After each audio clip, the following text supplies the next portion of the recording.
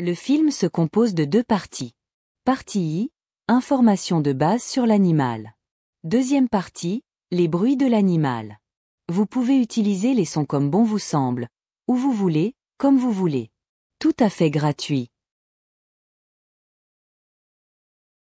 Le sanglier est un mammifère sauvage appartenant à la famille des suidés.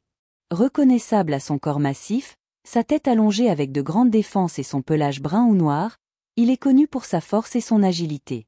Vivant en groupe, appelé compagnie, le sanglier est un animal très adaptable qui peut vivre dans divers environnements, bien qu'il préfère les forêts denses pour sa couverture. Le sanglier est un animal impressionnant par ses dimensions.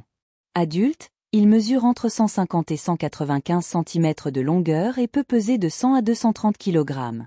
Ces animaux peuvent vivre jusqu'à 10 ans dans la nature.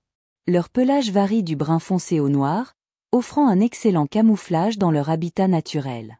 Les mâles possèdent de grandes défenses, qui sont en fait des canines supérieures développées, utilisées pour le combat et la défense.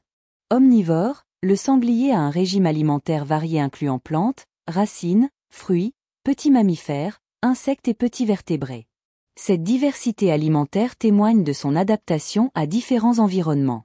Le sanglier est lui-même une proie pour plusieurs prédateurs, notamment le loup, l'ours et l'homme. La chasse au sanglier est pratiquée pour sa viande, considérée comme un gibier de choix dans de nombreuses cultures. Le sanglier habite principalement les forêts, mais peut également être trouvé dans les champs, les prairies et les dunes côtières. Son aire de répartition est vaste, s'étendant à travers l'Europe, l'Asie et introduit dans les Amériques. Son adaptabilité lui permet de vivre dans divers types d'environnements, mais il montre une préférence pour les zones boisées où il peut facilement trouver de la nourriture et se cacher des prédateurs. Leur présence dans les zones périurbaines peut parfois conduire à des conflits avec les humains, notamment en raison de leur fouille à la recherche de nourriture.